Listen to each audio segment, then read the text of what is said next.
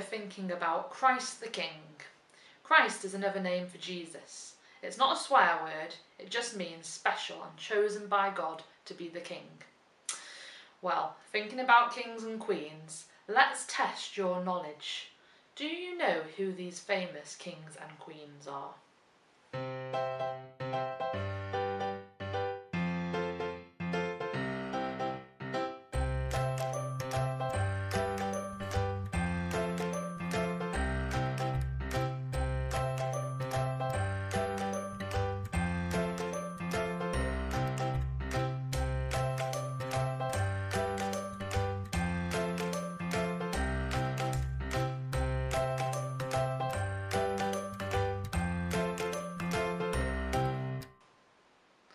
I wonder, how did you get on?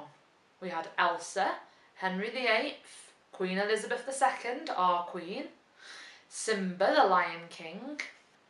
Would you like to be like one of these kings or queens? To live in a palace and to have servants and gold and banquets? I think I would sometimes. Now, was Jesus a king like this? Did he live in a palace and have riches and servants? Well, let's see what the Bible has to say. Jesus was equal with God, but Jesus didn't take advantage of this fact. Instead, he made himself nothing.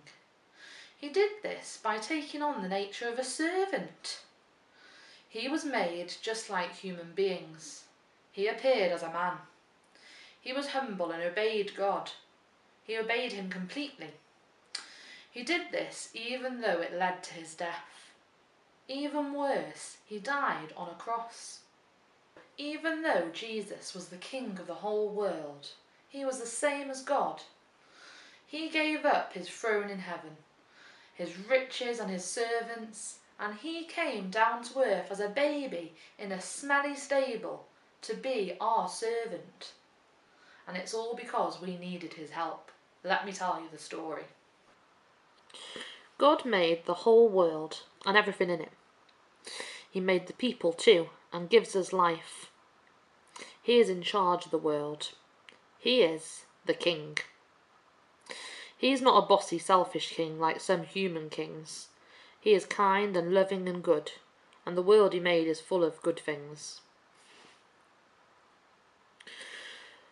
But something went wrong. God is the king, but sometimes we want to be our own king. We want to be in charge of our own lives. And this is called sin. Sin causes lots of problems. By trying to do our own way, things our own way, we hurt each other and make a big mess of God's good world. And this means that we can't be friends with God anymore. It's a bit like when we do something wrong and we're grounded or we have the technology taken away from us. That's what happens. We are separated from God as our punishment. But there's good news. Jesus came. And he took the blame for all the wrong things we did, for all our sin. So we are not punished anymore. We can be friends with God again. Jesus was so special that he didn't just die on a cross. He came back to life again. And now God has made him the king of the world. But we have to decide who our king is. There are two ways to live.